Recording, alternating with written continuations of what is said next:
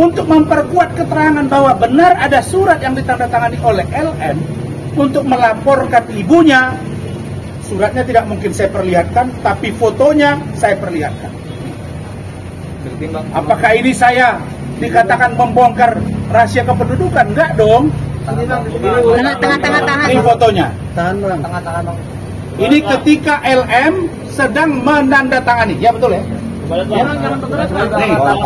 Ini LM sedang menandatangani surat tanggal 13 September 2024 terkait beberapa kronologi yang dialami dan ingin melaporkan MM terkait di dalamnya termasuk perundungan, eksploitasi, dan penelantaran.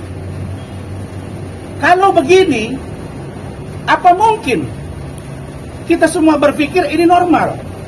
Tidak dong. Apakah mungkin LM yang dijemput dari apartemen kalau mengatakan anak di bawah umur, kenapa Anda ekspos itu? Ketika dijemput, silent saja dong. Bawa cewek, polisi, polwan. Di situ kan kelihatan dia sempat nggak ada celana panjang, dipakaikan celananya, benar?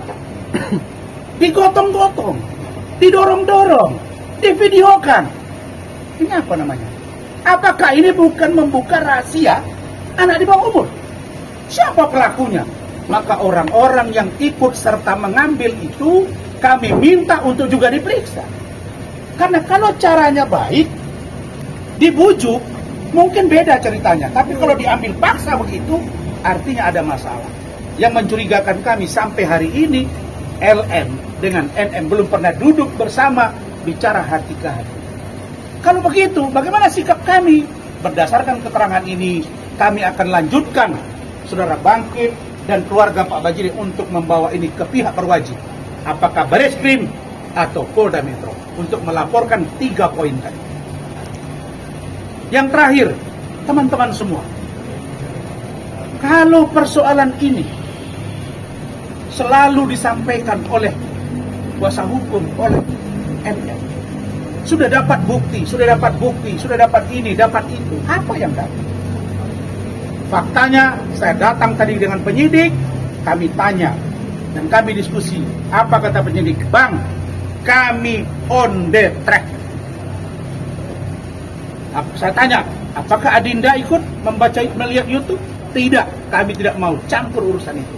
Kami on the track. Maka closing kami adalah pemeriksaan terhadap tiga, satu dari Kementerian PPA, yang kedua pemeriksaan dari saksi dari luar negeri, kami minta dilakukan via Zoom atau via daring, yang ketiga gelar perkara khusus.